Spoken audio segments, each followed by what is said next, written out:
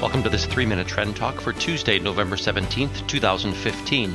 I'm Mark Scheffler, Senior Portfolio Manager, founder of the Appleton Group and Clear Trend Research. We've gotten into a bit of no man's land here in the markets in the past month and a half or so. At the end of September, the markets were down pretty sharply. S&P was down around 6%. International markets were down 10 to 12%, and commodities, which represent a significant piece of the global economy, were down nearly 20%. So we're seeing quite a bit of uh, deterioration back at the end of September. Since October, though, the markets have really been all over the place. We saw a significant move upwards in U.S. markets and some international markets as well. Um, that happened happened in the first six weeks of the quarter, and then we saw a bit of a sell off just in the last couple of weeks or so. So it's really been all over the place, and we call it no man's land.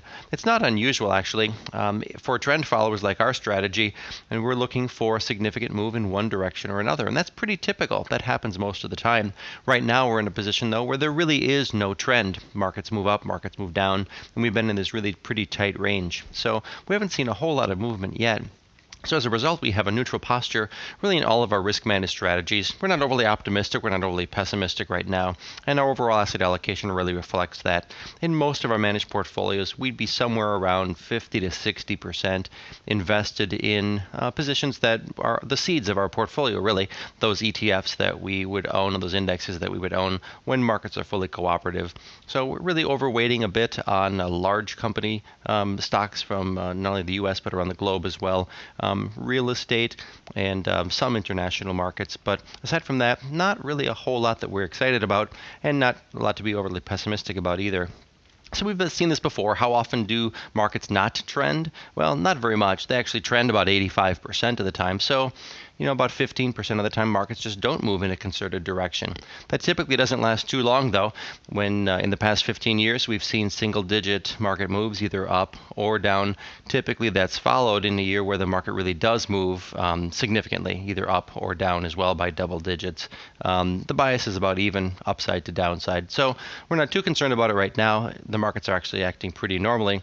And, you know, why is that the case? Well, we're still looking at uh, what kind of news is the market getting. Uh, bad news in the economy is actually good news for the markets. It means that the Fed is less likely to raise rates at their December meeting. They've wanted to raise rates for a long time, and they've just not been able to pull the trigger on doing that. So, as the economy ends up digesting some some bad news, either here in the U.S or in the overseas um, markets as well. It can be economic news, can be political moves, can be um, the other types of really um, bad news that we saw uh, last week as well over in France. Uh, unfortunately, the reality is that uh, the less uh, predictability there is and the more uncertainty there is, the less likely it is that the Fed is going to raise rates. So we'll have to stay tuned to that.